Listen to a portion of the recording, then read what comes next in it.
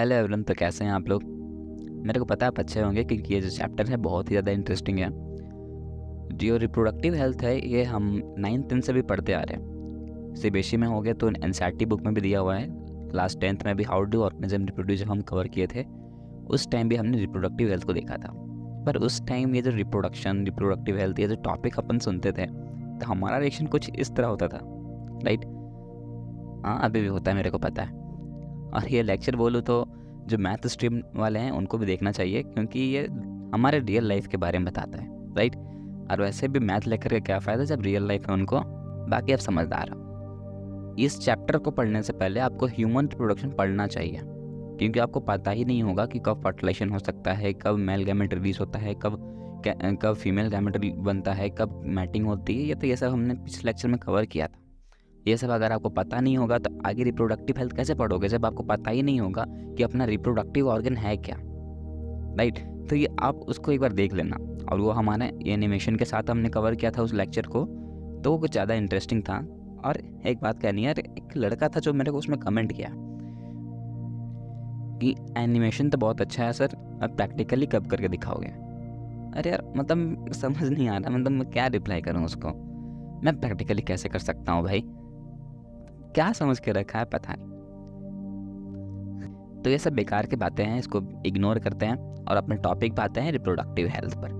तो हेल्थ का मतलब तो आपको पता ही होगा हेल्थ किसको कहते हैं? जब कोई भी इंसान मेंटली फिजिकली या सोशली अगर वेलबिंग हो ठीक ठाक हो तो हम बोलते हैं कि उसका हेल्थ ठीक है।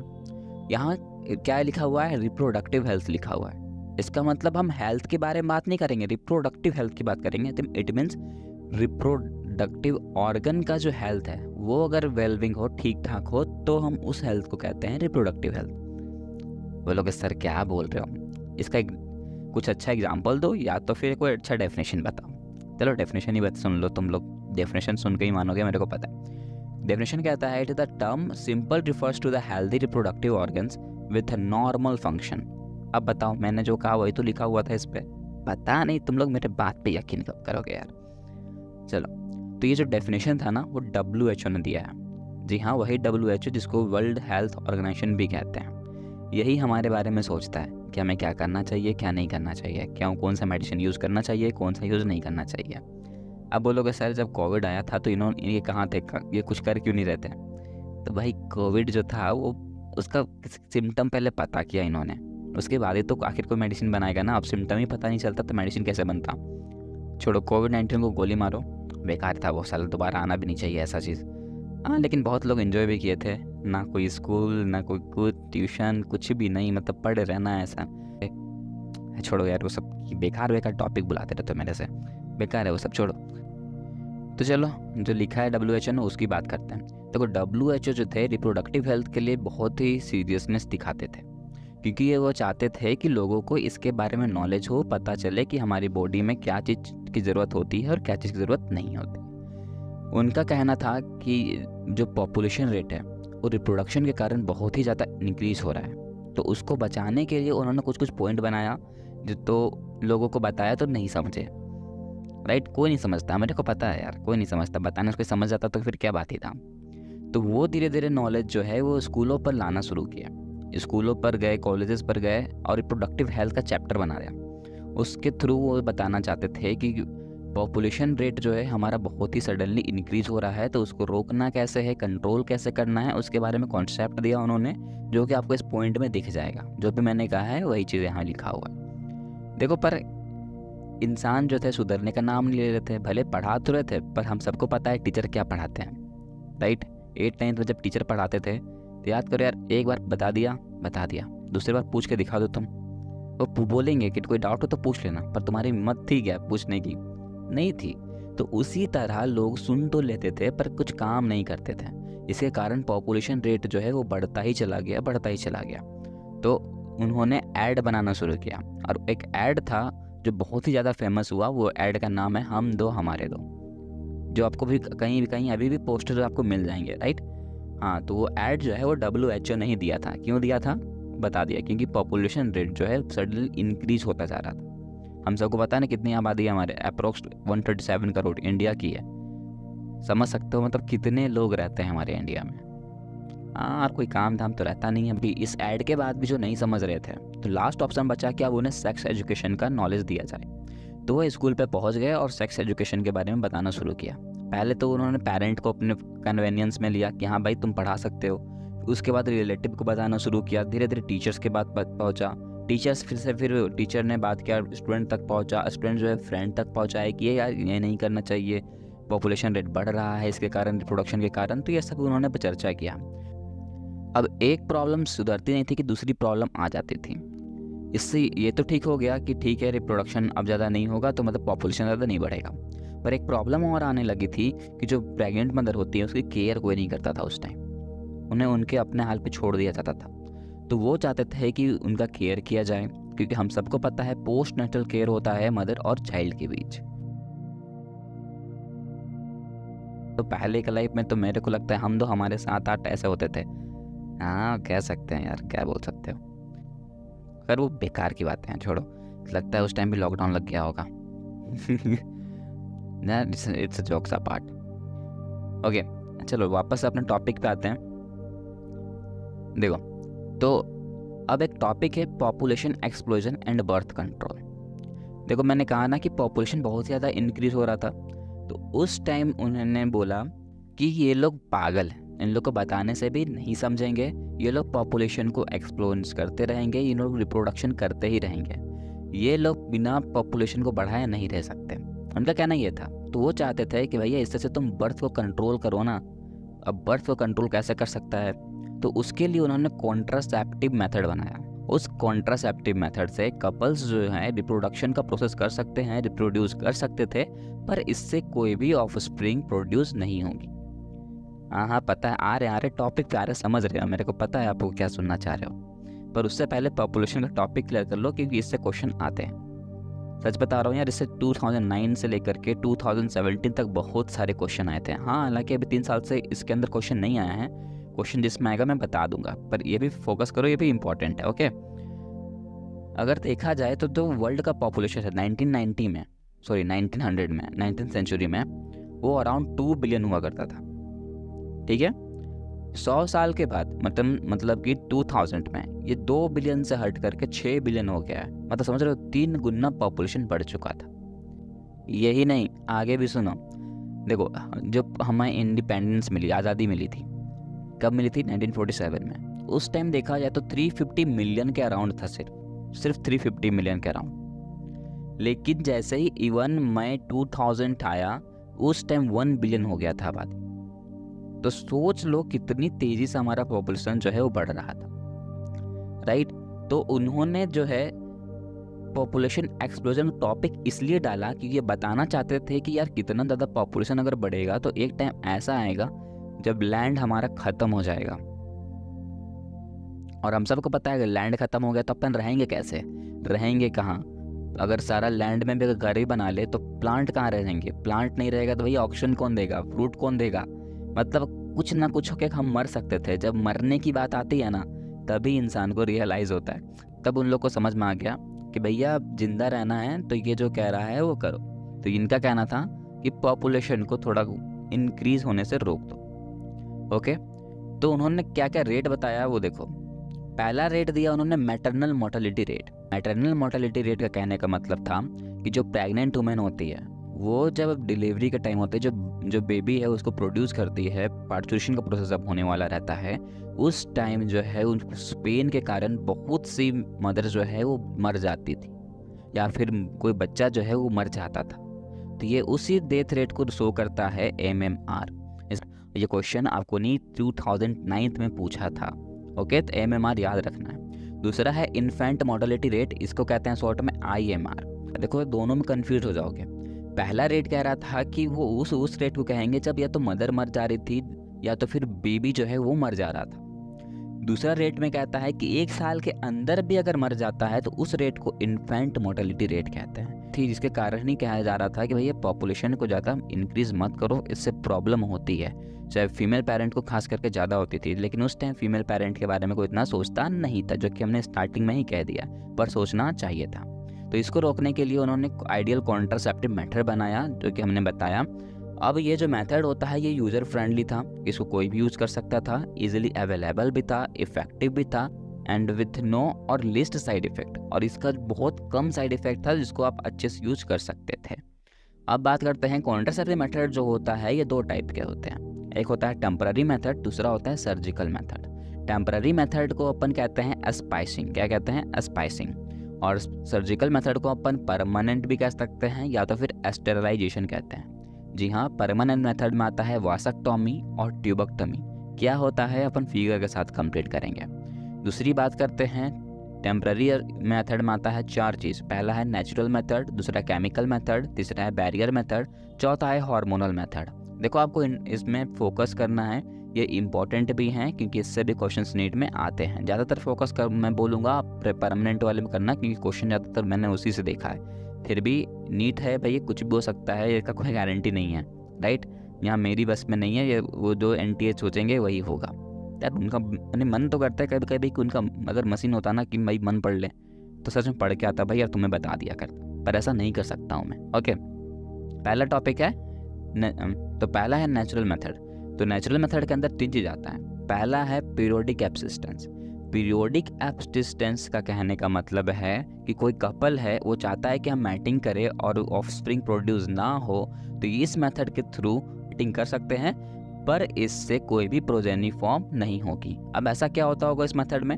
देखो, इसका कहने का मतलब था कि अगर किसी भी फीमेल पेरेंट को अगर मैंस्ट्रुअल साइकिल हुआ है ठीक है ना पीरियड्स आई है तो टेन टू सेवन डेज़ के अंदर टेन टू सेवन डेज़ के अंदर अगर उसके साथ मैटिंग ना किया जाए तो वो ऑफस्प्रिंग को प्रोड्यूस नहीं कर सकती है राइट तो ये भी एक समझो तो कॉन्ट्रासेप्टिव मेथड था, जिसके थ्रू आप रिप्रोडक्शन भी कर सकते थे, पर पॉपुलेशन को बढ़ा नहीं सकते हो राइट अब इससे शुद्ध में क्या बोलूँ? दूसरा है कोइटस इंटरप्ट कोइटस इंटरप्ट का कहना क्या है? ये भी वही प्रोसेस है जिसके through male and female parent आपस में मैटिंग कर सकते हैं, पर कोई भी प्रोजेनी को फॉर्म नहीं करेंगे। तो इसके अंदर कोइटस इंटरप्ट में क्या होता है?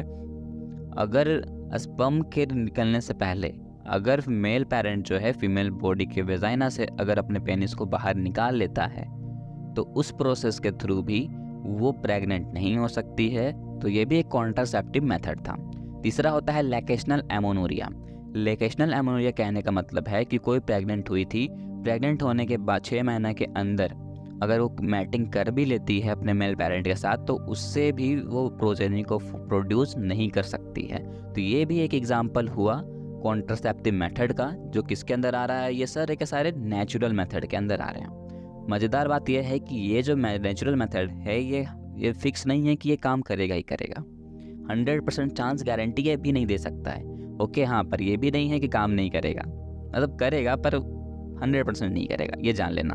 ओके और इससे कोई भी साइड इफ़ेक्ट नहीं होते हैं। अब बाकी आपको नोट्स में भी अवेलेबल है, आप नोट्स एक बार रीड कर लो, लिख कर लेना ओके यार ज़्यादा डिटेल में मैं नहीं बोल सकता, समझा करो। दूसरा मेथड है केमिकल मेथड केमिकल मेथड क्या कहता है वो सुनो। In this method chemical are use they are spermicidal agent which which themselves do spermatozoa and inhibit oxygen uptake. Okay example है इसका वेजाइनल टैबलेट्स फॉर्म जो कि आजकल चल रहा है। कुछ क्रीम्स हैं एंजेलीज हैं, और सबसे बड़ा इंपॉर्टेंट चीज़ नीम 76 ये क्वेश्चन जो है, आपको 2016 में नीट ने पूछा था। नीम 676 किसके अंदर आता है? तो ये केमिकल मेथड के अंदर आता है, और केमिकल मेथड किसके अंदर आ रहा है? ये सारे सारे अभी नेचुरल मेथड में। ये भी अपन ने कंप्लीट कर लिया। तीसरा है बैरियर मेथड बैरियर मेथड का मतलब क्या है? बैरियर लगाना। इट मीन्स कोई भी मेल और फीमेल फीमेल पेरेंट अगर आपस में मैटिंग कर रहे हैं कि जो स्पम है, जो मेल गैमेट है, वो फीमेल गैमेट से ना पहुँच पाए तो उसके लिए जो बैरियर का काम करता है, उसी बैरियर को कहते हैं बैरियर मेथड अब बोलोगे, सर, ऐसा क्या हो सकता है? बैरियर किसको कह सकते हैं? दिमाग में चल रहा होगा। एग्ज़ाम्पल सुनो, मज़ा आएगा। एग्ज़ाम्पल है कॉन्डम कॉन्डम सभी जानते ही होंगे। किसके लिए होता है? मेल के लिए होता है। किसका बना होता है? रबड़ का बना होता है। राइट तो ये जो कॉन्डम होता है, इसका मेन काम क्या है? कि पेनिस को कवर करके रखेगा। दूसरी बात ये अस्पम को फीमेल गैमेट से जाने से रोकता है राइट ये जो अस्पम होता है वो उस कॉन्डम के अंदर ही रुक जाता है। फीमेल बॉडी तक पहुँच नहीं पाता है फीमेल गैमेट के पास जा नहीं पाता। अब फीमेल गैमेट के पास अस्पम जाएगा नहीं तो मैटिंग कर भी ले, कर भी लेगा तो क्या प्रोजेनी को फॉर्म करेगा? नहीं करेगा। तो ये भी क्या हो गया? कि बैरियर मेथड का काम किया? बिल्कुल। और एक बात बताते हैं किसी को बताना मत। पॉपुलर ब्रांड जो है कॉन्डम का जो मेल के लिए है उसका नाम है Nirodh Nirodh is the popular brand of the condom for the male okay और दूसरी बात, ये जो कॉन्डम होते हैं, उसको दोबारा यूज़ नहीं किया जा सकता। ओके दूसरी बात, इसको यूज़ करने से ना तो एड्स होता है, ना ही एसटीडी होती है मतलब एचआईवी वायरस नहीं हो सकता। राइट तो और एक पॉइंट बताते हैं ये जो कॉन्डम होते हैं मेल एंड फीमेल पेरेंट दोनों के लिए होते हैं और दोनों के लिए डिस्पोजल होते हैं। मतलब एक बार यूज़ करो, उसके बाद वो काम के नहीं होते हैं। राइट? तो यहाँ तक आपको कोई डाउट होगा तो आप कमेंट कर सकते हो। दूसरा है डायफ्राम कैप्स देखो डायफ्राम कैप्स बोलो या तो उसको सर्विकल कैप्स बोलो या तो फिर वॉल्ट्स बोलो, बात एक ही है ओके ये काम करते हैं किसमें फीमेल में। जो फीमेल का ओवम होता है रिलीज़ तो होगा। और मान लो कि जो मेल पेरेंट है, वो कॉन्डम का यूज़ नहीं कर रहा है या प्रोटेक्शन का यूज़ नहीं कर रहा। तो उस केस में स्पम जो है वो फीमेल बॉडी के वेजाइना तक तो चला जाएगा। पर वेजाइना में ही ये डायफ्राम कैप्स खपा हुआ रहता है। तो इसके कारण वो ओवम से मीट कर नहीं पाएगा और स्पम कुछ टाइम के बाद मर जाएगा। तो इसके कारण भी प्रेगनेंसी अकर नहीं हो सकती है। और ये जो होता है, ये जो प्रोसेस है, ये जो डायफ्राम कैप्स है, ये रीयूजेबल होता है। इसको दोबारा से यूज़ कर सकते हैं, पर कॉन्डम को दोबारा से यूज़ नहीं कर सकते हैं। राइट यहाँ तक कोई डाउट होगा आपको तो आप मेरे को कमेंट कर सकते हो। और दूसरी बात, मैं फिर से कह रहा हूँ नोट्स में आपको सारा कुछ अवेलेबल है, एक बार ज़रूर पढ़ना है। मज़ेदार लेक्चर है बोरिंग लगा ही नहीं लगेगा। मैं कह रहा हूँ ना बोरिंग नहीं है, मज़ेदार है ओके तीसरा है इंट्रायूटराइन डिवाइस जिसको शॉर्ट में आईयूडीएस कहते हैं। ये जो डिवाइस है फीमेल बॉडी के यूटेरस में लगाया जाता है, सिर्फ़ एक्सपर्ट डॉक्टर के थ्रू ये सिर्फ़ डॉक्टर के थ्रू ही इंसर्ट किया जा सकता है फीमेल बॉडी के अंदर। तो ये मेथड जो है, ये भी टेम्प्रेरी मेथड के अंदर आता है तो ये भी परमानेंट क्यूरेबल तो नहीं है, पर हाँ इसकी एक्सपायरी होती है तो आप एक्सपायरी के बाद वापस से आप चाहो तो इंट्रा यूट्राइन डिवाइस को अपनी बॉडी में ट्रांसमिट कर सकते हो। ओके तो इसी के अंदर तीन चीज़ आता है, पहला है नॉन मेडिकेटेड आई इसका कहने का मतलब है increase in phagocytic of sperm within the uterus इसका एग्ज़ाम्पल है Lippes loop okay copper releasing I copper releasing कहने का मतलब है कि जो बॉडी होती है, वो कॉपर आयन को रिलीज़ करती है। राइट क्यों करती है? तो वो स्पम के मोटिलिटी के लिए एंड फर्टिलाइजिंग प्रोसेस के लिए। एग्ज़ाम्पल होता है C U T C U seven या फिर multi load three seventy five ये क्वेश्चन आपको नीट 2016 में पूछा था, मैंने इसको पोस्ट भी किया है तो देख लेना। तीसरा है hormonal releasing I U D S इसका कहने का मतलब है it makes the uterus unsuitable for the implantation and the cervix hostile to the sperm. इसका एग्जांपल है progesterone and L N G twenty ये एल एन जी ट्वेंटी से question आते रहते हैं भाई, इसको बिल्कुल भी मिस मत करना। ये सारे के सारे इंपॉर्टेंस टॉपिक अभी पढ़ रहे हैं अपन ओके ये किसके अंदर हमने देखा? ये सारे के सारे। तो यही हमने देखा इंट्रा यूटराइन डिवाइस के अंदर। और इंट्रा यूटराइन डिवाइस किसके अंदर आ रहा था? बैरियर मेथड के अंदर आ रहा था, जो स्पम को मैटिंग करने से रोकने का काम कर रहा था राइट तो हम बोल सकते हैं कि अब हमने बैरियर मेथड भी कंप्लीट कर लिया। उसके बाद आते हैं हार्मोनल मेथड में। हार्मोनल मेथड के अंदर हमें देखना है पिल्स क्या होता है इंजेक्शन क्या होता है और इम्प्लांटेशन क्या होता है। पहला है पिल्स पिल्स जो होते हैं वो डेली पिल्स भी हो सकते हैं और वीकली पिल्स भी हो सकता है राइट पिल्स मतलब समझ रहे हो? गोली, दवा दवा जानते ही हो गए दवा खाते हैं हम ना आप वही दवा है। तो जो मेडिसिन है, वो या तो वीकली में आप खा सकते हो या तो फिर डेली में भी खा सकते हैं। वीकली पिल्स इट मीन्स आप सप्ताह में एक दिन खाओगे। और और जो डेली पिल होता है, वो वो आपको डेली खाना है, पर जब मैंस्ट्रुअल साइकिल हो रहा हो, उस टाइम छोड़ करके। ओके आप, इससे ज़्यादा डिटेल में आपको देखना है तो आप देख सकते हो, पर इससे ज़्यादा क्वेश्चन नहीं आते हैं। जिससे क्वेश्चन आते थे, मैंने बता दिया है। ओके हाँ एक लेकिन एग्ज़ाम्पल बता देता हूँ। डेली पिल, डेली पिल्स है। उसका एग्जांपल है माला डी या फिर माला एन। ये डेली पिल्स होते हैं जो मैटिंग कर रहे हो तो जो फीमेल होती है, वो इस मेडिसिन को ले सकती है डेली यूज़ के लिए। और वीकली पिल में आता है अब।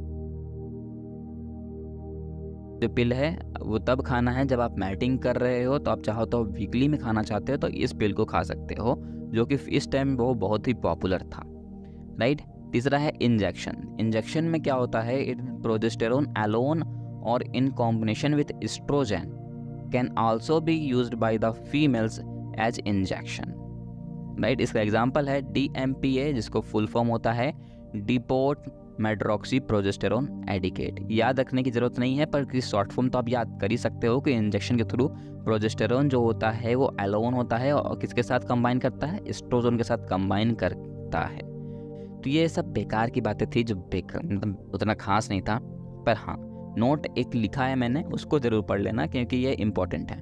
नोट में मैंने लिखा है injection and implants have a high level of progesterone which inhibits the secretion of FSH, LH, and ultimately inhibit the ovulation so work as a contraceptive. आपको याद होगा F H hormone L H H hormone ये हमने reproduction में complete किया था। ये हमने बताया था ये कब ज़्यादा रिलीज़ होता है तो जब प्रेगनेंसी होती है, उस टाइम ये ज़्यादा रिलीज़ होता है राइट तो यहाँ तक अब हम बोल सकते हैं कि हमने पूरा का पूरा टेम्प्ररी मेथड कंप्लीट कर लिया है। टॉपिक डाल दो। परमानेंट मेथड देखो परमानेंट मेथड को अपन सर्जिकल मेथड भी बोलते हैं, या तो फिर इसको स्टेरलाइसिस मेथड भी बोल सकते हैं, क्योंकि इस सर्जिकल मेथड का यूज़ करने के बाद मेल हो या फीमेल हो, दोनों स्टेराइल हो जाते हैं। दूसरी बात ये जो प्रोसेस है, इसको दोनों को यूज़ कर सकते हैं मेल भी यूज़ कर सकता है और फीमेल भी यूज़ कर सकता है। देखो सिंपल सी बात है यार रिप्रोडक्शन कब होता है? जब मेल का स्पम फीमेल बॉडी के वेजाइना पे चले जाए, उसके थ्रू जा कर के ओवम से मैटिंग कर ले तो फर्टिलेशन का प्रोसेस होता था। जिसके कारण जायगोट का फॉर्मेशन होता है। जाइगोट के बनने के बाद एम्ब्रियो का फॉर्मेशन होता है, फिर मोरूला बनता है, फिर ब्लास्टोमर्स बनते हैं तो इस तरह बनता जाता है। राइट तब जाके प्रोजेनी का फॉर्मेशन होता है। तो कुल मिला के हमें क्या करना है? स्पम को फीमेल बॉडी से जाने से रोकना है। या फिर दूसरा चीज़ ये कर सकते हैं कि जो फीमेल बॉडी का ओवम है, उसको एम्पुलरी रीजन तक आने ही नहीं देना। तो भी तो वो स्टेराइल हो जाएगी। बिल्कुल। तो मान लेते हैं कपल है मेल और फीमेल पेरेंट दोनों हैं उसमें। तो मेल जो है वो क्या चाहता है कि मैं अपने आप को स्टेराइल कर लूँ। तो उस प्रोसेस को कहेंगे? वासकटॉमी वासकटॉमी आपको रिलेट करता है कि वासक वासक से आएगा वास्ट डिफरेंस तो वास्ट डिफरेंस जो होता है, वहाँ पर एक छोटा सा कट कर दिया जाता है और उस वास्ट डिफरेंस को कट करके स्टीच कर दिया जाता है, जिसके कारण वो स्पम तो फॉर्म कर सकता है टेस्टिस पर वो बॉडी से रिमूव नहीं होगा। तो स्पम कुछ टाइम के बाद क्या होगा? वहाँ पर डी जनरेट कर जाएगा तो इसके कारण ये मैटिंग कर भी ले तो भी न्यू यंग फंड्स को प्रोड्यूस नहीं कर सकता। दूसरा है फीमेल के केस में। अब वो चाहती है कि नहीं, मैं मैं ही अस्टेराइल हो जाऊँ। तो वो जो है इस मेथड का यूज़ कर सकती है, जिसका नाम है ट्यूबेक्टॉमी ट्यूबेक्टॉमी जो होता है, ये कहाँ पर यूज़ होता है? फैलेपिन ट्यूब में यूज़ होता है, जहाँ पर, वहाँ पर छोटा सा कट कर दिया जाता है एम्पुलरी रीजन से थोड़ा सा पहले, जिससे के कारण ओवम जो है वो एम्पुलरी रीजन तक पहुँच ही नहीं पाएगा तो मैटिंग कहाँ से होगी? राइट? तो ये दोनों का हमने देख लिया, दोनों के दोनों मेथड कैसे हैं? एस्टेराइल मेथड है, इट मीन्स ये ये जो है, ये सर्जिकल मेथड है, परमानेंट मेथड है। दैट दोनों क्लियर हो गया होगा अब तो? कोई तो कोई डाउट भी नहीं होगा। चलो ठीक है हमने क्या कर लिया? हमने दोनों मेथड देख लिया कॉन्ट्रासेप्टिव मेथड चाहे वो टेम्पररी हो या फिर परमानेंट हो। तो इतने सारे मेथड देखने के बाद अब तो ऐसा क्यों गलती नहीं करेंगे है ना? आ, समझ ही गए हो गया। ठीक है पर यहाँ पर ही हमारी बात ख़त्म नहीं हुई। ये प्रॉब्लम ठीक हो गया चलो ठीक है बहुत लोग समझ गए क्या करना चाहिए क्या नहीं करना चाहिए। पर इसके अलावा हमारे इंडिया में जो है रेप के केस बहुत ही ज़्यादा थे। और रेप करने के कारण जो है जो मे फीमेल पेरेंट होती थी, वो प्रेग्नेंट हो जाते थे। तो अब वो जो है, वो बेबी को तो रखना नहीं चाहेंगी। सिंपल सी बात है यार, क्यों क्यों रखना चाहेगी वो? है ना? तो इस केस के लिए बनाया गया एमटीपी जिसको मेडिकल टर्मिनेशन ऑफ़ प्रेगनेंसी कहते हैं शॉर्ट में अबोर्शन कहते हैं। उन लोगों के लिए बनाया गया कि जो मिस्टेक्स अगर वो प्रेग्नेंट हो जाती हैं तो इस केस में वो जो है, अपने बेबी को वहीं पर ख़त्म कर सकती है, मार सकती थी। उस केस के लिए बनाया गया था, पर अभी तो लोग बहुत ही ज़्यादा गलत काम के लिए यूज़ करते हैं कि मतलब फीमेल होती थी तो मार देते थे। तो इसको ये बैन कर दिया गया था कुछ टाइम के लिए। अब तो शायद फिर से अनबैन हो गया आई डोंट नो पर इन 1971 में जो है ये लीगल लीगली इसको प्रूव कर दिया गया था कि इसको यूज़ कर सकते हैं। पर बाद में फिर बैन किया, फिर पता नहीं आई डोंट नो कि इसको अनबैन किया है कि नहीं, पर आपको में बस यही लिखा हुआ है कि ये लीगल कब हुआ था? 1971 में हुआ था। हालाँकि इससे क्वेश्चन नहीं आता है, पर बता दिया क्योंकि आपको एनसीआरटी में दिया था। राइट अब हेडिंग डाल लो सेक्सुअली ट्रांसमिटेड इन्फेक्शन जिसको एसटीआई कहते हैं शॉर्ट में। इसी को अपन वैनरल डिज़ीज़ बोल सकते हैं, या फिर रिप्रोडक्टिव ट्रैक्ट इन्फेक्शन भी बोल सकते हैं। तो आप कुछ भी बोल सकते हो, इसको ये तीनों में से आप पे डिपेंड करता है। हाँ हालाँकि एन टी ए पे भी डिपेंड करता है कि वो क्या लिख के देता है आपको, है ना? तो याद कर लेना, छोड़ो। तो मैं यही बोलूँगा, जो एन में तीन चीज़ दिया है, मैं वह आपको बताता हूँ, बाकी जाने दो। तो एन ने दिया है आपको हेपेटाइटिस बी के बारे में एचआईबी के बारे में, जिसके अंदर एड्स और एस आते हैं। तो एच जो हेपेटाइटिस बी होता है, वो एक्चुअली होता है जो इंजेक्शन होता है ना निडल उसके शेयरिंग करने से। राइट जैसे कि कोई पेशेंट है, उसको पे जो इंजेक्शन था, उसने लगा दिया, वो इंजेक्शन को उसने रख लिया और उसी इंजेक्शन से किसी और पेशेंट को मान लो उसने इंजेक्शन दे, लगा दिया। तो इसके कारण भी उस पेशेंट को प्रॉब्लम हो सकती थी तो इस भी आता है अपने सेक्सुअल ट्रांसमिटेड इन्फेक्शन के कारण। राइट तो हेपेटाइटिस बी का एक बार मैं डेफिनेशन पढ़ देता हूँ। Hepatitis B and H I V can also be transmitted by the sharing of injection needle और a surgical instrument with a infected person transfusion of blood और from an infected mother to the foetus to कहने का मतलब है hepatitis B जो होता है, वो अगर कोई प्रेग्नेंट मदर को भी दे दिया जाए तो उनके जो फीटस में जो बेबी है, जो चाइल्ड है, उसे भी प्रॉब्लम हो सकती थी। राइट तो जो हेपेटाइटिस बी है एच है एड्स है, ये सब कुछ सेक्सुअली ट्रांसमिटेड डिज़ीज़ के अंदर आता है। और इसको जो है वो फील कर सकता है कि अगर किसी को होता है तो पता चल जाता है। तीसरी बात यह है ना कि इसका अभी तक कोई भी ट्रीटमेंट नहीं आया है। ये अभी तक कोई भी डिटेक्ट नहीं कर सका है यार, किस तरह का वायरस है और किस, इसको कैसा एंटीडोट चाहिए, क्या करने से ठीक होगा। अभी तक कोई परमानेंट क्वेरेबल इसके लिए नहीं आया है। तो इसका कहने का मतलब है कि आपको अगर हो गया है तो आपको हमेशा दवा खाते ही रहना पड़ेगा। दवा मिस हो गया तो समझो आप भी मिस हो जाओगे। तो ये बहुत ही खतरनाक डिज़ीज़ है राइट तो बचने के लिए जो है, जो भी हमने अभी देखा बैरियर मेथड में या फिर हमने टेम्पररी मेथड परमानेंट जो भी हमने पढ़ा कॉन्ट्रासेप्टिव मेथड वो सब अगर यूज़ करोगे तो इससे कभी भी इन्फेक्शन इन्फेक्शन फैलने का डर नहीं रहेगा। तो इसके बारे में और भी इन्फॉर्मेशन है, जो कि आपको नोट्स में अवेलेबल है, जितना आपको बताना था, मैंने बता दिया है, पर एक चीज़ मैं बता देता हूँ, जो कि है प्रिकॉशंस अगर आपको इस बीमारी से बचना है तो क्या क्या करना चाहिए, वो मैं बताता हूँ। देखो avoid the sex with unknown partners या फिर मल्टीपल पार्टनर्स राइट इसका मतलब तो समझ गए हो गए इतना भी तो ये नहीं हो गया तो आगे बढ़ते हैं। दूसरा पॉइंट कहता है always use the condoms during coitus वही चीज़ कह रहा है, जो कि मैंने कहा कि अभी हमने टेम्पररी मेथड पढ़ा या फिर परमानेंट मेथड पढ़ा, उसका यूज़ करो तो कुछ भी नहीं होगा।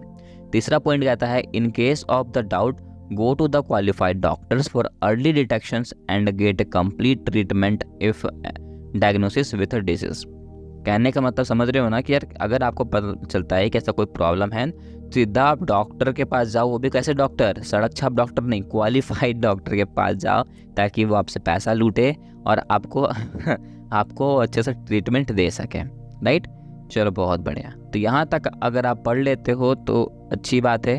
नहीं पढ़ते हो तो भैया आपका लॉस हो सकता है। इससे आपकी जान पे भी बन सकती है, क्योंकि अगर आपको पता चलता है कि अगर आप नहीं कंप्लीट कर पाते हो तो नीट में क्वेश्चन आ जाता है तो बहुत बुरा लगेगा। और उस टाइम बहुत बुरा लगता है तो समझ जाते हो क्या होता है। छोड़ो, ये सब बेकार की बात। तो आप टॉपिक डाल लो इनफर्टिलिटी जी हाँ इनफर्टिलिटी बहुत ही ज़्यादा इंपॉर्टेंट टॉपिक है, क्योंकि अभी तक लगातार चार पाँच साल से मैं देख रहा हूँ कि इनफर्टिलिटी से दो क्वेश्चन नीट में आ ही रहे हैं। इट मीन्स आठ नंबर कन्फर्म हो जाएगा, सिर्फ़ एक टॉपिक से तो यार, अभी तक जिसको ये टॉपिक समझ नहीं तो ये चैप्टर समझ में नहीं आ रहा था ना? तो उनके लिए ब्रह्मास्त्र का काम करेगा कि कम से कम ये टॉपिक पे ध्यान दे दो, ताकि दो क्वेश्चन आप अटैम्प्ट कर ही पाओ। और दो ही क्वेश्चन आते हैं इस चैप्टर से। मतलब सोच लो यार, दो क्वेश्चन इसी से आ रहे हैं। ओके तो फोकस करना इस पर ज़रा सा भी स्किप मत करना। इंटरेस्टिंग है स्किप तो नहीं करोगे, मेरे को पता है। देखो इनफर्टिलिटी वो प्रोसेस है ना, जब किसी कपल को दो साल हो गए हैं शादी के या तीन साल हो गए हैं, पर उससे चाइल्ड चाहिए, पर चाइल्ड मिल नहीं रहा। दैट्स अ इनफर्टिलिटी ये आता है इनफर्टिलिटी के अंदर। तो चाइल्ड जो है, कुछ कौन कौन से रीजंस के कारण नहीं हो सकती है? तो हो सकता है उसके फिजिकली कोई प्रॉब्लम हो मेंटली कोई टॉर्चर कर रहा हो, या फिर कोई डिज़ीज़ हो, उसे कोई ड्रग्स वो एडिक्टेड हो, जिसके कारण उसके स्पम में कोई प्रॉब्लम होगी तो वो मैटिंग नहीं कर पा रहा सही से। या तो फिर इम्यूनोलॉजिकली कोई प्रॉब्लम होगी, या तो फिर फिजियोलॉजिकली कोई प्रॉब्लम होगा, या तो फिर साइकोलॉजिकली कोई प्रॉब्लम होगा।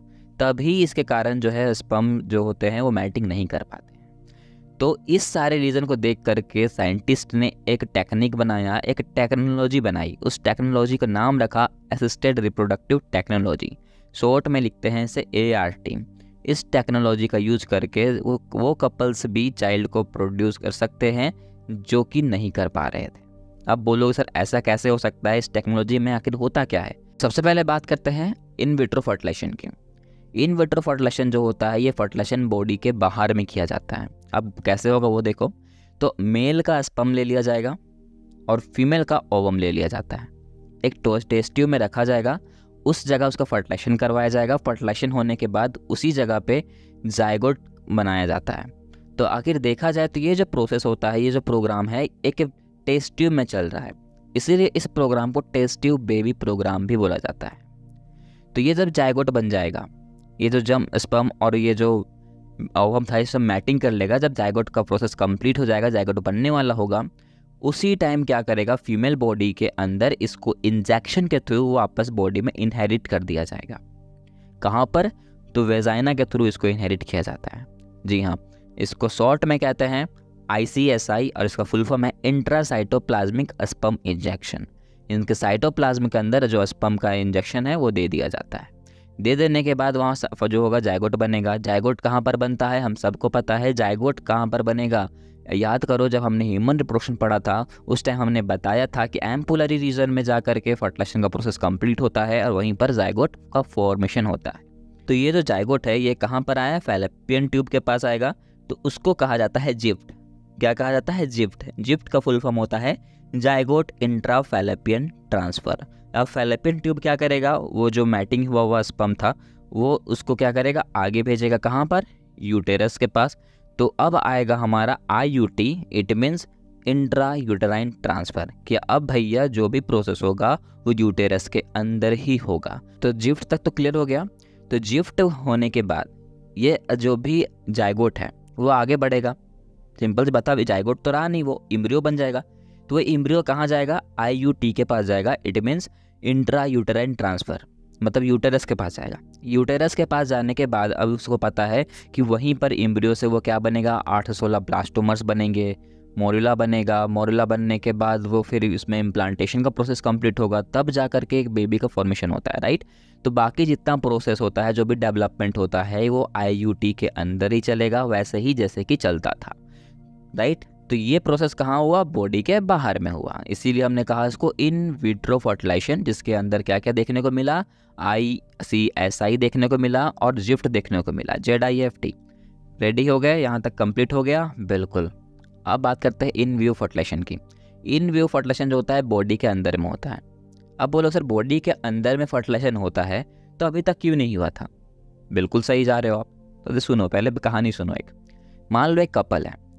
मेल का स्पम ठीक है फीमेल के बॉडी में कुछ प्रॉब्लम है। उसका ओवम जो हो रहा है, वो नहीं, वो रिलीज़ तो हो रहा है, पर उतना ज़्यादा नहीं हो रहा जितना स्पम को चाहिए। तो वो क्या करना चाहती है? वो अपना ओवम को लेगी यहाँ तक समझ गए हो? तो डॉक्टर्स क्या करते हैं? फीमेल बॉडी से ओवम निकालेंगे इंजेक्शन के थ्रू लेंगे, उसको टेस्ट ट्यूब में रखेंगे। और कोई सैरोगेट मदर होगी जो उसके बच्चे को अपने बॉडी में इम्प्लांट कराएगी। मतलब समझ रहे हो कि एक कपल है। उसके अलावा कोई एक और फीमेल पेरेंट है जो कि उनके बच्चे को अपने पेट के अंदर मतलब अपने यूटरस के अंदर वो रखेगी इम्प्लांट करवाएगी। इस प्रोसेस को कहते हैं इन वीवो फर्टिलेशन तो ये प्रोसेस आखिर वो कहाँ रहा है? मदर के अंदर ही होगा. लेकिन वो मदर को हम कहेंगे सैरोगेट मदर क्या कहेंगे? सैरोगेट मदर कहेंगे. बिल्कुल सही. यहाँ आप कोई डाउट नहीं होगा आपको. दोनों कुछ क्लियर हो गया है भैया कि इन विट्रो बाहर में हो रहा है और इन वीवो बॉडी के अंदर में हो रहा है. राइट यहाँ तक अब कोई डाउट नहीं होगा ना? बिल्कुल. कोई भी डाउट नहीं होगा. तो वहाँ पर हमने तीन स्टेप देखा था. यहाँ भी कुछ स्टेप देखेंगे. यहाँ पर स्टेप देखने को मिलता है गिफ्ट का। वहाँ पर हमने गिफ्ट देखा है ना, यहाँ पर हमने गिफ्ट देखने को मिलेगा। GIFT G I F T G जिसका फुल फॉर्म होता है गैमेट इंट्राफेलेपियन ट्रांसफ़र इसमें क्या होगा फैलेपियन ट्यूब में गैमेट का ट्रांसफ़र देखने को मिलेगा। कैसे? वो देखो, मैं रीड करता हूँ। ये कहता है transfer of an ovum collected from a donor into the fallopian tube of the same female और another female who can not produce one but can provide a suitable environment for fertilisation and further development तो ये कहना क्या चाह रहा है? जैसे कि एक कपल है तो जो फीमेल पेरेंट है, उसका ओवम निकाल करके दूसरे सैरोगेट मदर में ट्रांसमिट कर दिया जाता है और फिर मेल कैमेट तो जो स्पम है, वो तो रिलीज़ हो ही रहा है, वो स्पम फिर उस ओवम के साथ मैटिंग करेगा और पूरा का पूरा जो प्रोसेस है, वो शुरू हो जाएगा। राइट और फिर उसी तरह प्रोसेस होता है, जिस तरह हम सबको पता है, कहाँ पर बॉडी का इम्प्लांटेशन होगा यूटेरस में जा कर के बॉडी का इम्प्लांटेशन कंप्लीट हो जाएगा। राइट तो इस प्रोसेस को कहते हैं इन वीवो फर्टिलाइजेशन तो ये दोनों क्लियर हो गया होगा?